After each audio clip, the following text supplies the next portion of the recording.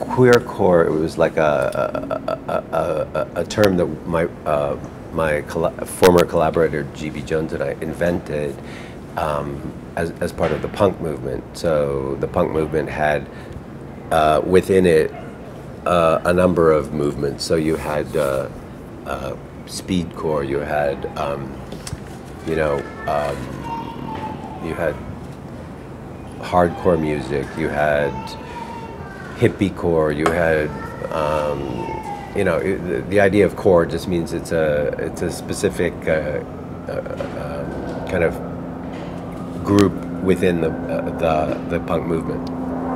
So when we abandoned uh, the gay movement in the 80s because we thought it was un uninspiring and bourgeois and stylistically challenged, um, we turned to punk because we thought it was a, a youth movement that was very political, very anti-authoritarian, very um, uh, independent, anti-corporate, and even though we were aligned with it politically, we discovered there was a lot of homophobia in the punk movement in the late 80s. And so we reacted against that by being making fanzines and inventing and films and inventing this queercore movement, which was, uh, you know, simply a homosexual movement within the punk, within punk culture.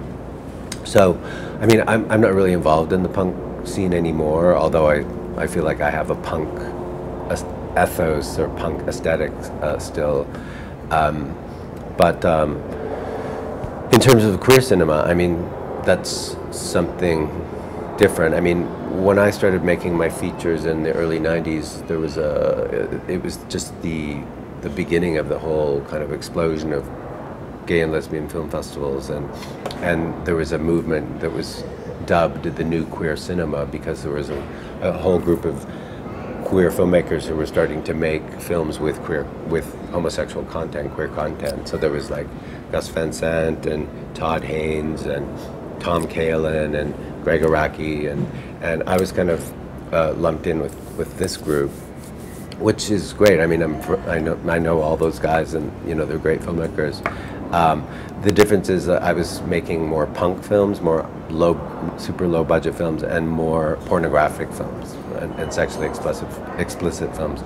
And um, so um, my films had a, a, a, different agenda. They were intended as a, a kind of punk and queer provocation in their homosexual explicitness um, and in their kind of um, you know, radical leftist kind of sensibility. So, um, so uh, I, I, you know, gladly am aligned with with the that movement, but I also am aligned with the the queercore movement, which is uh, something completely different. Lullaby